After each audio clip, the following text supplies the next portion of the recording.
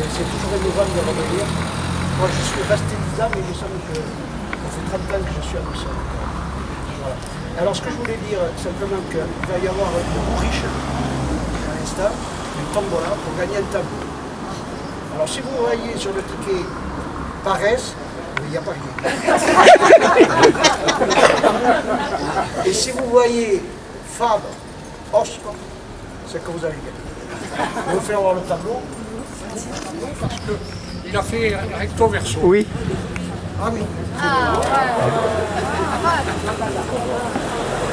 Alors, j'ai contacté mes camarades Combas, Petit Rosa de 7 et Ben de Nice. Et je leur ai dit combien ça vaut ça.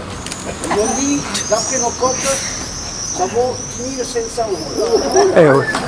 Bravo. de Rosa. Alors les prix, j'ai fait en fonction de, la peinture, des heures à passer et de la créativité. Alors il y en a un, créativité c'est zéro.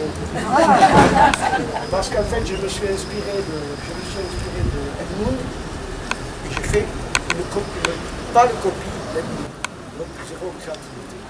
C'est un peintre que j'aime beaucoup. Il y a des personnages, donc, comme Padel, Robert Martin. Il y a JPM, Jean-Paul Masson. Et sans compter sur le clip, bien sûr, c'était inévitable. Donc, je vais faire ça.